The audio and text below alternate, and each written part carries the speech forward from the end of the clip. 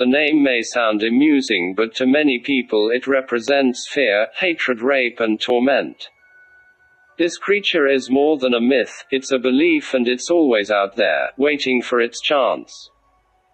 Apparently half man, half woman, Pinky Pinky is a creature whose origins may date back centuries to a time when it was known to the Zulus as the Umdwengui Abomu. Today she, or perhaps he, is a creature that has migrated to the cities and makes regular appearances in African townships from one end of South Africa to the other.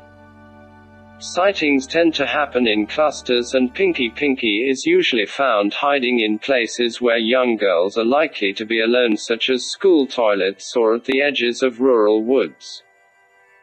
At best, this creature is a molester of prepubescent and pubescent girls and, at worst, a savage, murderous rapist.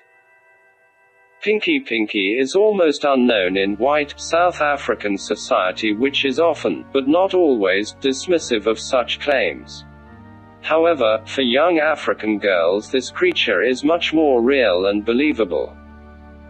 It's a terrifying figure that features often in nightmares and occasionally in reports of sexual abuse. Both pre and post apartheid authorities have, at times, taken reported sightings of Pinky Pinky very seriously. Headmasters have closed schools to protect their pupils from this so called myth. Official police investigations have been carried out to ascertain if there really might be something to this bloody pinky pinky business. Descriptions vary but those that are consistent describe a pink-skinned, feminine man, of late middle age who dresses in a mixture of both male and female clothes.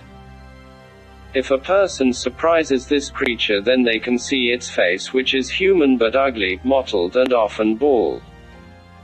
If it sees a person looking then its features blur so that all someone can see are two pink-colored eyes. Its alleged victims say that it tries to corner a girl and then speaks to her in a musical woman's voice and asks if the girl will play or be friends with Pinky Pinky.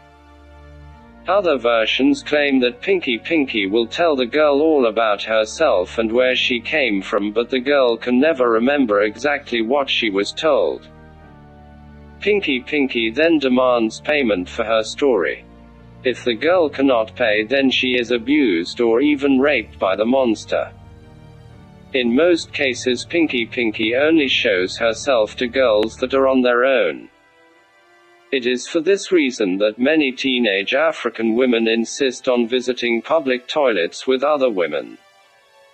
Very little has been written about Pinky Pinky although a group of students from AFDA in Johannesburg did start to make a film about the creature in 2005 using a vacant building at the UNISA University of South Africa campus in Pietermaritzburg, South Africa. Today Pinky Pinky is generally believed to be an urban legend that emerged as a result of political unrest and social anxiety. The rape and abuse of women and pubescent girls is still unacceptably high in South Africa and it would be understandable for this fear to focus on a particular monster, such as Pinky Pinky.